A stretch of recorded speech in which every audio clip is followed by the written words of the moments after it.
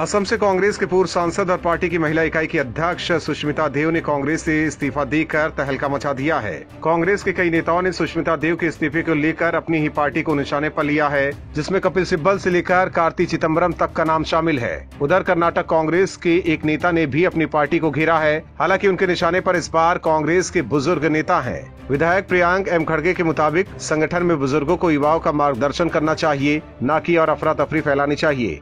Party की महिला इकाई की अध्यक्ष देव के पार्टी से इस्तीफे को दुर्भाग्यपूर्ण करार देते हुए विधायक प्रियांक एम खड़के ने कहा कि वो कांग्रेस के वफादार और उसकी विचारधारा में विश्वास करने वाली नेता थी। कांग्रेस के वरिष्ठ नेता मल्लिकार्जुन खड़गे के बेटे प्रियांक खड़गे का बयान कपिल सिब्बल के बयान पर पलटवार माना जा रहा है। सिब्बल ने ट्विटर पर कहा था कि सुष्मिता देव ने हमारी पार्टी की प्राथमिक सदस्यता से इस्तीफा दे दिया। युवा नेता छोड़ते हैं, जबकि पुराने नेता पार्टी को मज़बूत करने के लिए प्रयास करते हैं तो उसके लिए भी कसूरवार ठहराया जाता है। हालाँकि खड़गे ने साफ़ किया कि उन्होंने कपिल सिब्बल पर निशाना नहीं साधा है, लेकिन समझने वालों के लिए खड़गे का बयान काफ़ी है। गौरतलब है कि कांग्रेस की महिला इकाई की अध्यक्ष सुष्मिता देव ने पार्टी को बड़ा झटका देते हुए प्राथमिक सदस्यता से इस्तीफा दे दिया है।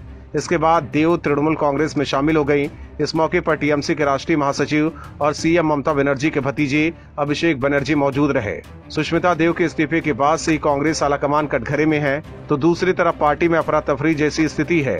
माना जा रहा है कि आने वाले दिनों में कांग्रेस के दूसरे युवा नेता भी पार्टी से इस्तीफा दे सकते हैं ब्यूरो रिपोर्ट ओएमएच न्यूज़ और भी वीडियोस देखने के लिए चैनल को सब्सक्राइब करें और बेल आइकन को दबाएँ।